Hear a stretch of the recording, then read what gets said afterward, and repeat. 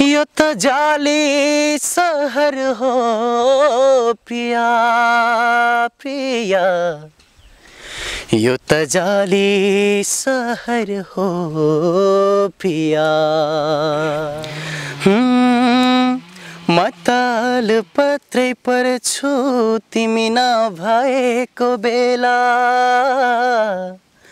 मुटु चल्दा चल्दै मर्छु तिमी नभएको बेला मुटु चल्दा चल्दै मर्छु। तिमी नभएको बेला। होइन उसँग मेरो मैले टेनमा नाइन टेनमा उसले चाहिँ नाइनमा पढ्ने मैले चाहिँ टेनमा पढ्थेँ। हामी चाहिँ अब त्यो बेला चाहिँ चिन्जान भइहाल्यो होइन? अब क्लोज त त्यसै नै भइहाल्यो एउटै स्कुलमा पढ्थ्यौँ हामी चाहिँ। म छु आज धेरै टाढा म आज धेरै टाढा। मेरो दिल छ पोखरामा। हो म छु आज धेरै टाढा। मेरो दिल छ पोखरामा। होइन अब म कस्तो छु त्यो त अरूले वाच गर्ने कुरा होइन र? म कस्तो देखिन्छ मैले ओह म त यो जस्तै देखिन्छु भन्दा पनि अरूले त चाहिँ यस्तो देखिन्छ है भन्नेमा चाहिँ अलिकति डिपेन्ड हुन्छ कि जस्तो लाग्छ होइन।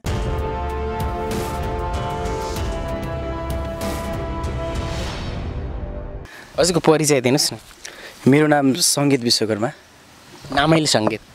ह- हजुर। कसरी नाम राख्न चाहनुभयो? तपाईँले मिठो गीत त जन्मैदेखि पक्कै गाउनु भएन होला।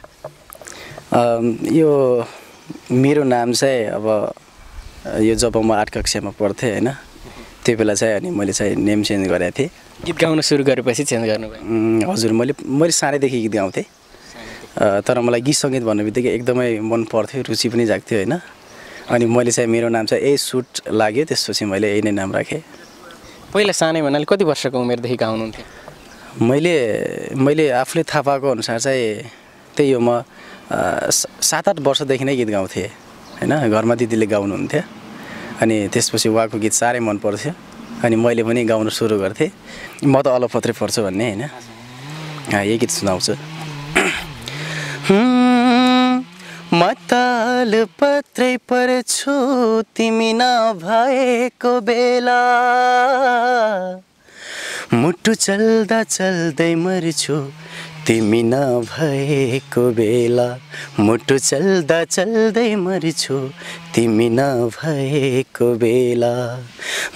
म ताल पत्रै पर्छु तिमी नभएको बेला। मुटु चल्दा चल्दै मर्छु तिमी नभएको बेला। मुटु चल्दा चल्दै मर्छु तिमी नभएको बेला। वा कस्तो दामी स्वर। गीत रेकर्ड गर्नु भएको छैन अहिलेसम्म। गीत मैले रेकर्ड चाहिँ गरेको छु अहिलेसम्मको मेरो फर्स्ट सङ्ग थियो एउटा चाहिँ मुटु दुख्दा नरो भन्ने। कतिवटा गीत रेकर्ड गर्नुभयो कि एउटै हो? मैले अहिलेसम्म चाहिँ आफूले चाहिँ दुईवटा गीत रेकर्ड गरेको छु होइन? एउटा गीत चाहिँ भर्खरै रेकर्ड गरेको छु एउटा गीत चाहिँ मैले त्रिहत्तर सालमा रेकर्ड गरेको थिएँ। काठमाडौँ गएर रेकर्ड गर्नु हजुर। काठमाडौँ गएर नै रेकर्ड गरेको थिएँ अनि अहिलेसम्म चाहिँ जम्मा जम्मी चारवटा गीतहरू मैले आफैले कम्पोज गरेको गीतहरू चाहिँ छन्। कम्पोज पनि गर्नुहुन्छ। हजुर गीत पनि म कम्पोज गर्छु। आफूले जुन मार्केटमा आइसक्यो? यस्तो छ अब दुईवटा गीत चाहिँ मैले आफूले कम्पोज गरेको गीत चाहिँ छ। होइन मार्केटिङमा आइरहेछ अहिले चाहिँ। गायक गोविन्द परियार भाइले गाउनुभएको छ। अनि एउटा गीत चाहिँ मैले मुटु दुख्दा चाहिँ गाएको छु। अहिले भर्खरै चाहिँ मैले फागुनमा एउटा गीत रेकर्ड गरेको छु। भर्खरै यो गएको साता चाहिँ एउटा गीत चाहिँ रेकर्ड गरेको छु। आफ्नो गीत चाहिँ गाउनुहोस् न एकपल्ट। मेरो आफ्नो गीत चाहिँ यस्तो छ।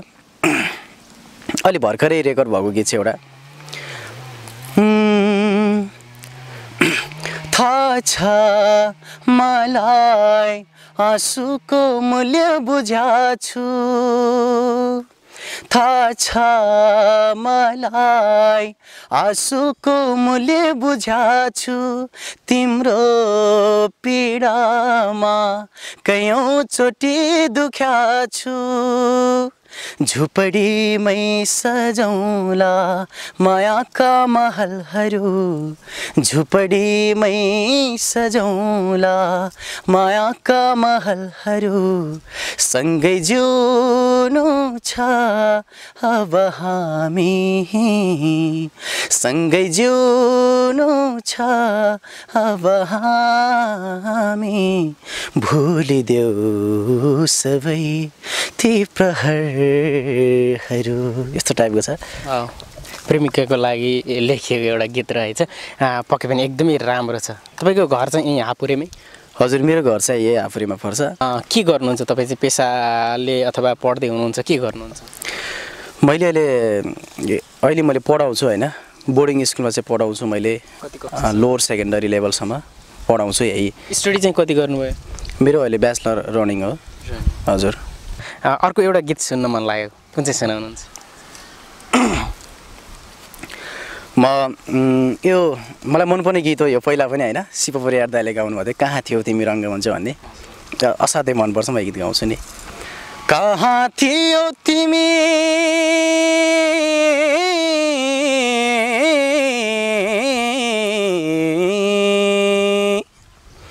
कहाँ थियो तिमी? रङ्गमञ्च उठेपछि आयो। कहाँ थियौ तिमी रङ्गमञ्च उठेपछि आयो। समयले जवानी यो लुटेपछि आयो। समयले जवानी यो लुटेपछि आयो। तिमी र म सँगसँगै गर्नुहुन्थ्यो यात्रा।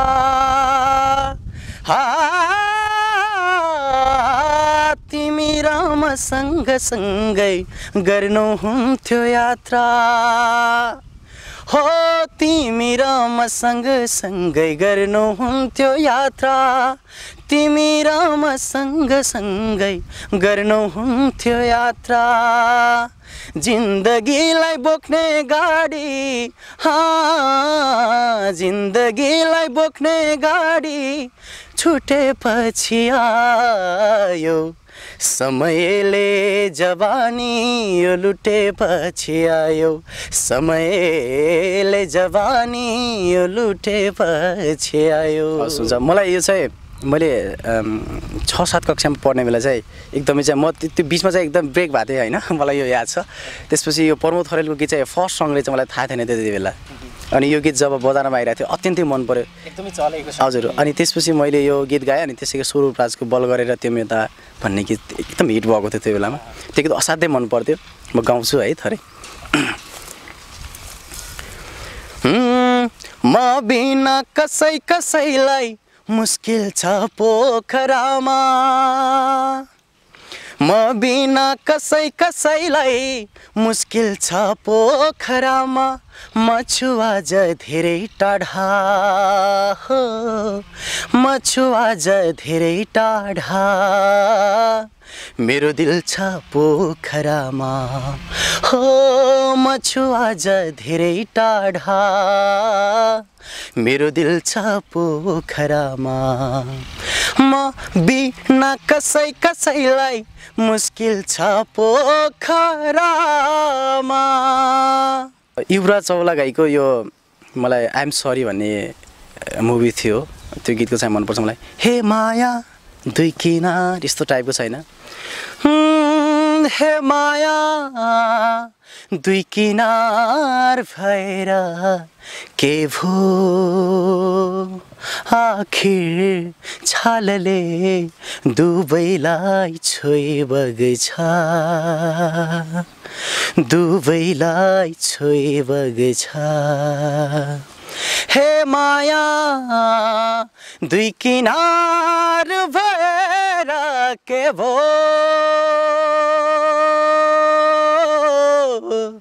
हो यस्तो टाइपको थियो गीत गाउनुहुन्छ ह्यान्डसम पनि हुनुहुन्छ। केटीहरूको त लाइन छ होला। होइन अब केटीको लाइन त हुने नै भयो। म चाहिँ अलरेडी म्यारिड हो नि।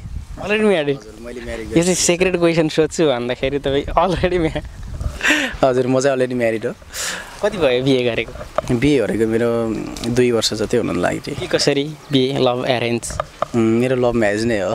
पक्कै पनि है। यस्तो राम्रो मान्छेको लभ म्यारेज स्योर जस्तो छ। के कसरी अलिकति त्यो मोमेन्ट्सलाई याद गर्दा कसरी भेट भयो कसरी बिहे गर्ने? एकदमै सर्टमा बताइदिनु। होइन उसँग मेरो मैले टेनमा नाइन टेनमा उसले चाहिँ नाइनमा पढ्ने मैले चाहिँ टेनमा पढ्थेँ हामी चाहिँ अब त्यो बेला चाहिँ चिन्जान भइहाल्यो होइन। अब क्लोज त त्यसै नै भइहाल्यो। एउटै स्कुलमा पढ्थ्यौँ हामी चाहिँ। अनि उसले पनि मलाई लाइक गर्दो रहेछ। अनि त्यो कुरा चाहिँ पछि थाहा भयो। मलाई चाहिँ थाहा थिएन उसले लाइक गर्छ भन्ने। अनि त्यसपछि हाम्रो बिस्तारै चाहिँ अनि भेटहरू हुँदै गयो। अनि उसले पनि मसँग कुराहरू राख्यो। अनि मलाई पनि पोजिटिभ लाग्थ्यो। उसले पनि मलाई पोजिटिभ नै लिन्थ्यो। अब त्यही त हो नि होइन। विवाह भन्ने चिजमा पुग्नुभन्दा अगाडि अब एकअर्कालाई बुझ्नै जरुरी हुन्छ। सबै कुराहरू चाहिँ मलाई उसको जायज लाग्यो। त्यो कारणले गर्दाखेरि चाहिँ हामी चाहिँ पछि विवाहमा बाँधिएका थियौँ। कति मिठो प्रेम रहेछ। अहिले त वैवाहिक सम्बन्धमा पनि हुनुहुन्न रहेछ। तपाईँको अरू केटी फ्यान चाहिँ घट्लान् फेरि। अनि यस्तो हुन्छ अब मन पराउने भन्ने कुरा त अभियसली अब राम्रो चिज देखेपछि त कसलाई मन पर्दैन र होइन र? त्यो एउटा कुरा रह्यो विशेष गरेर त तपाईँको चाहिँ स्वरलाई मनपर्ने कुरा छँदैछ त्यो चाहिँ विशेष कुरा रह्यो। म चाहिँ अहिले पश्चिम चरणमा घरतिर छु होइन। अब विशेष त कस्तो हुन्छ भन्दाखेरि यो गीत सङ्गीततिर अहिले हामी चाहिँ नयाँ युवाहरू छौँ। नयाँ पिँढीलाई चाहिँ गीत सङ्गीततिर अलिकति मनैदेखि लाग्छु भने पनि हरेक कुराहरूले चाहिँ छेक्ने चाहिँ वातावरण सिर्जना हुँदो रहेछ। अब यो पछिल्लो चरणमा चाहिँ अहिले विशेष त मान्छेलाई जति पनि हामी नयाँ छौँ हामीले गर्न खोज्ने भनेको चाहिँ विशेष त पैसाकै कारण हो होइन? अब मान्छेहरू अब अहिलेको जति पनि सिङ्गरहरू छ उनीहरूलाई नेपालमा बाँच्नु धेरै गाह्रो छ होइन? जस्तो हामीले अब एउटा गीत फाइनल गर्छौँ त्यो गीतको तपाईँको अडियोमा मात्रै तपाईँको तिसदेखि पैँतिस हजारसम्म लिइदिन्छ। अब त्यसको भिजुअल गर्नु पऱ्यो त्योदेखि लिएर चाहिँ अब टन्नै खर्चहरू तपाईँको एक डेढ लाखसम्म चाहिँ एउटा भिजुअलले मात्रै चाहिँ त्यतिसम्मको खर्च लिइदिन्छ। तर कुनै प्लेटफर्म खोज्नुभयो भने त तपाईँको चर्चा बढ बढ्ने रह्यो। त्यसपछि विभिन्न स्टेज पर्फर्मेन्सहरू विभिन्न कुराहरू हुन्छ नि। हजुर। यसको चाहिँ तयारीमा हो कि अथवा के हो? होइन म म चाहिँ यस्तो हो। मैले पहिला एउटा आइडल पनि लगाएको थिएँ नि। यो कृष्ण सर आइडल थियो नेपालगञ्जमा। त्यो आइडलमा चाहिँ म गएको थिएँ होइन। अनि त्यसपछि त्यहाँ चाहिँ म उत्कृष्ट हुन सफल भएँ। मलाई धेरैले साथ सपोर्ट पनि गर्नुभएको थियो। अनि त्यसपछि त्यो प्लेटफर्म जितिसके पश्चात चाहिँ मैले गीत रेकर्डिङ गरेको थिएँ होइन मुटु दुख्दा नरो भन्ने। अब त्यो त्यो त एउटा सानो प्लेटफर्म नै थियो होइन त्यहाँबाट एउटा हौसला चाहिँ मलाई मिल्यो। अब घरमा मम्मी बुवाले चाहिँ के गर्नुहुन्छ खास पेसा चाहिँ के? घरमा मेरो मम्मी बुवा चाहिँ त्यतिकै बस्नुहुन्छ त्यस्तै अब कृषक नै हुनुहुन्छ होइन। एकदमै अहिले घरतिर बसाबस नै छ। घरमा जे होस् व्यावहारिक कुरा होइन खर्चको कुराहरू पनि तपाईँले एउटा पढाएर जुटाउनुहुन्छ। हजुर। अब मैले प्राइभेट संस्थामा काम गर्छु होइन। त्यो प्राइभेट संस्थाको अब अब सबै कुराहरू सरकारी जस्तो हुँदैन होइन। स्यालेरीको कुरा नगरौँ एकदमै कम हुन्छ। हजुर एकदम न्यूनतमबाट चाहिँ हामीले चाहिँ स्टार्ट गर्नुपर्ने हुन्छ। एकदम गुज्रिएर चाहिँ बाध्यतावश चाहिँ हामीले गर्नुपर्ने हुन्छ होइन। तपाईँ जस्तो प्रतिभा त एकदमै बाहिर आउनु जरुरी छ। यो चाहिँ मेरो भित्री मनदेखिको चाहना होइन सारा दर्शकहरूको चाहना पक्का पनि हुनसक्छ। यो भिडियो हेरिसकेपछि ओके सिग्देल एकदमै मनपर्छ भन्नुभयो। अर्को उहाँको एउटा गीत चाहिँ गुनगुनाइदिनुहोस्। राज सिक्देलको गीत चाहिँ मलाई यो त जाली सर प्रिया भन्ने गीत चाहिँ मनपर्छ होइन। त्यो गीत चाहिँ म गाउँछु अलिकति रियालिटी जस्तै छ यो गीत होइन हजुर यो त जाली सहर हो प्रिया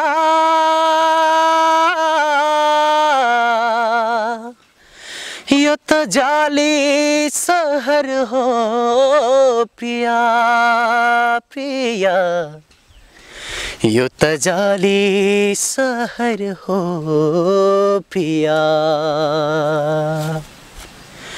यो त जाली सहर हो प्रिया।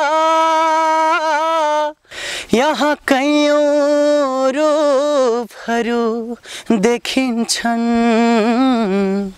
म त सब थोक बेचेरा सब थोक बेचेरा। म त सब थोक बेचेरा म त सब थोक बेचेरा। तिम्रै हुने रहर हो प्रिया। म त तिम्रै हुने रहर हो प्रिया। यो त जाली सहर हो प्रिया। के भन्नुहुन्छ आफ्ना दर्शकहरूलाई हजुर सम्पूर्ण दर्शकहरूलाई मेरो हार्दिक नमस्कार। पक्कै पनि यदि मलाई चाहिँ अलिकति माथिको लेभलबाट देख्न चाहनुहुन्छ अलिकति मलाई केही गरेको देख्न चाहन्छ भने पक्कै पनि यहाँहरूको माया अनि साथ ममा सदैव हुनेछ मलाई आशा छ। यहाँहरू बिना म एकदमै पनि अधुरो छु। मलाई आगामी दिनहरूमा अझ राम्रो प्लेटफर्ममा देख्न चाहन्छु भने पक्कै पनि म त्यो प्लेटफर्मसम्म पुगेँ भने चाहिँ यहाँहरूले मलाई धेरै सपोर्ट गर्नुहुन्छ धेरै साथ दिनुहुनेछ। मेरो यी गीतहरूलाई चाहिँ धेरै माया गर्नुहुन्छ। लाइक कमेन्ट सब्सक्राइब अनि सेयर पनि गर्नुहुन्छ भन्ने धेरै आशा लिएको छु।